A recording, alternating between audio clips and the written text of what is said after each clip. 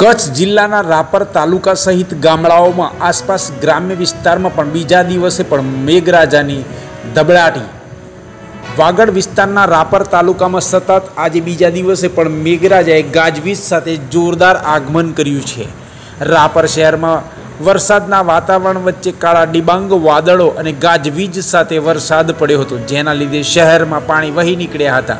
રાપરના આડેસર, ગાગોદર પ્રાગપર ત્રંબો નીલપર ડાભુંડા સહિતના અનેક ગામડાઓના વિસ્તારોમાં, ગ્રામ્ય વિસ્તારોમાં વરસાદી ઝાપટા પણ પડ્યા હતા. આમ વરસાદી માહોલ જોવા મળી રહ્યો છે. રાપર સહિત આસપાસના વિસ્તારોમાં બીજા દિવસે પણ મેઘરાજાની દબડાટી જોવા મળી હતી અને જેને લઈને જે અતિશય ગરમી અને બફાળા ઉકળાટ વચ્ચે વરસાદ પડતા શહેરીજનોમાં ઠંડક પ્રસરી જતા ખુશનુમા વાતાવરણ જોવા મળી રહ્યું. જ્યારે ગ્રામ્ય વિસ્તારોના ખેતી પાકને પણ ફાયદાકારક થાય તેવો વરસાદ વરસી રહ્યો છે. રાપર સહિતના વિસ્તારોમાં જે તૈયાર મૂલ થયો છે ત્યારે થોડું નુકસાન થાય તેવી પણ શક્યતાઓ જોવા મળી રહી છે. આમ રાપર સહિતના આસપાસના વિસ્તારોમાં મેઘરાજાએ બીજા દિવસે પણ એન્ટ્રી મારી અને વરસાદ શરૂ થયો છે. જોરદાર વરસાદે આગમન કર્યું છે. જેમાં વરસાદી ઝાપટા સહિત વેગ મેઘરાજા ગાજવીજ સાથે વીજળીના કડાકા ભડાકા સાથે વરસાદ પડી રહ્યો છે અને શહેરમાંથી પાણી વહી નીકળ્યા.